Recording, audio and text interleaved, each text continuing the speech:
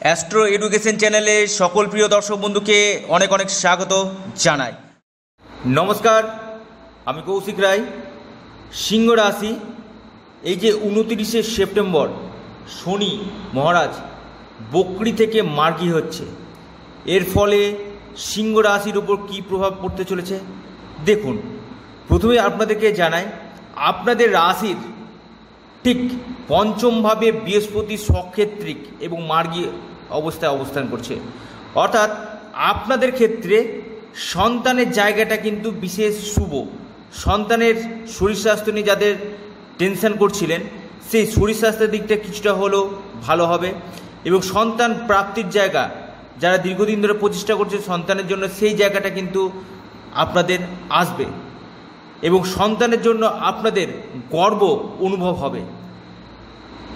এই সিংহ রাশির রাশির ষষ্ঠ স্থানে শনি গ্রহের অবস্থান।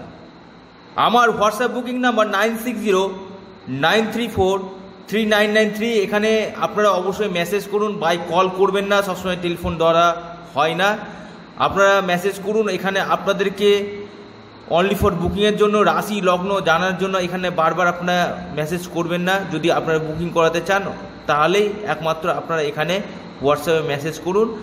সকাল এগারোটা থেকে রাত্রি আটটা পর্যন্ত এখানে আপনারা অবশ্যই মেসেজ করতে পারেন।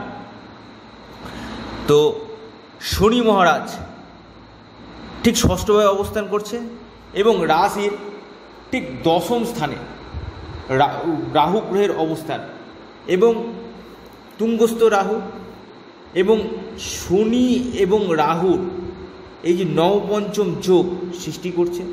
অর্থাৎ এই সময়ের মধ্যে আপনার কর্মর দিকটা কিন্তু বিশেষ লাভের জায়গা কিন্তু আসবে। অর্থাৎ কর্মপ্রাপ্তির জায়গা, কর্মের ক্ষেত্রে মান সম্মান বৃদ্ধি, কোনো যে কোনো কাজে আপনারা যদি এগিয়ে যান, সেই কাজটাতে আপনারা কিন্তু সাকসেস পাবেন। অর্থাৎ আপনার যে কোনো কাজে এগিয়ে গেলে কি হবে?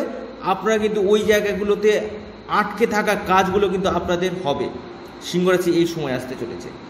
এবং এর সাথে সাথে কর্মর দিকে আপনাদের মান সম্মান বৃদ্ধি, পদমর্যাদা বৃদ্ধি এবং আপনাদের খ্যাতি, সুনাম এ সময় কিন্তু যথেষ্ট পরিমাণে বৃদ্ধি পাবে। কিন্তু ষষ্ঠভাবে শনি সক্ষেত্রিক যদিও, আপনাদের ক্ষেত্রে বেশ কিছু ক্ষেত্রে শত্রুতা জায়গা কিন্তু তৈরি হবে। অর্থাৎ অযাচিত শত্রুতা এইটা থেকে আপনারা অবশ্যই সাবধানতা অবলম্বন করুন, সাবধানে থাকুন। শত্রু যোগটা আপনাদের প্রবল হারে এই সময় দেখা যাচ্ছে। ফিনান্সিয়াল দিকটা কিন্তু যথেষ্ট আপনাদের ভালো। অর্থনৈতিক দিক আপনাদের যথেষ্ট এই সময় ভালো দেখা যাচ্ছে।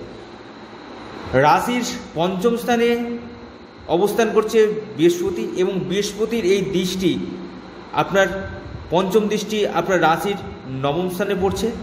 এবং আপনার রাশির নবম দৃষ্টি, এই বৃহস্পতির নবম দৃষ্টি আপনার রাশিতে পড়ছে এবং রাশি বৃহস্পতির সপ্তম দৃষ্টি রাশির একাদশ স্থানে পড়ছে। অর্থাৎ লাভ, সফলতা সাকসেসের জায়গা কিন্তু আপনাদের তৈরি হবে। সিংহ রাশির ক্ষেত্রে আটকে থাকা কাজগুলো হবে। রাশির উপর দৃষ্টি, এই বৃহস্পতির দৃষ্টি। আমি বারবার বলছি, বৃহস্পতি যে স্থানে বসে, তার থেকে যদি যে স্থানে দৃষ্টি দেয়, যে ভাবের উপর দৃষ্টি দেয় সে ভাবটা গঙ্গা জলের মতো কিন্তু পবিত্র হয়। আমি বারবার এই কথাটা আপনাদেরকে একই কথা বলি। তো আপনাদের ক্ষেত্রে ভাগ্যোদয় কিন্তু আপনাদের হবে। ভাগ্যের দ্বারা যে কাজগুলো হয়, সেই কাজগুলো কিন্তু হয় ভাগ্যের সাপোর্ট আপনারা কিন্তু পাবেন।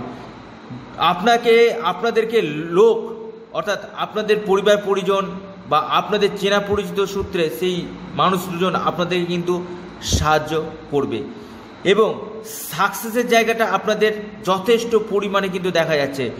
শরীরের দিকটা আপনাদের বেশ ভালো, কিন্তু এই যে ষষ্ঠভাবে শনির অবস্থান, চোট আঘাত পাওয়া, এটা কিন্তু হওয়ার প্রবল সম্ভাবনা। ফট করে পড়ে গিয়ে চোট আঘাত পাওয়া, লাগা, এই জায়গাগুলো বা হাড়ে কোনো লাগা বা হাড় ক্র্যাক হয়ে যাওয়া, এই জায়গাগুলো কিন্তু দেখা যাচ্ছে। আপনাদের কর্মের দিকটা, যারা সরকারি চাকরি করছেন তাদের ক্ষেত্রে কিন্তু ভালো, বা সরকারি চাকরি পাওয়ার সম্ভাবনা কিন্তু তৈরি করছে এই শনি।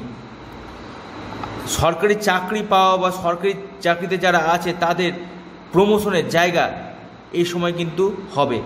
অর্থাৎ সিংহ রাশির ক্ষেত্রে এই শনি আপনাদেরকে ক্ষেত্রে কিন্তু চাকরি জায়গায় দিবে, কিন্তু শত্রুতা, চোট, আঘাত এই জায়গাগুলো কিন্তু আপনাদের চলে আসার প্রবল সম্ভাবনা কিন্তু আছে।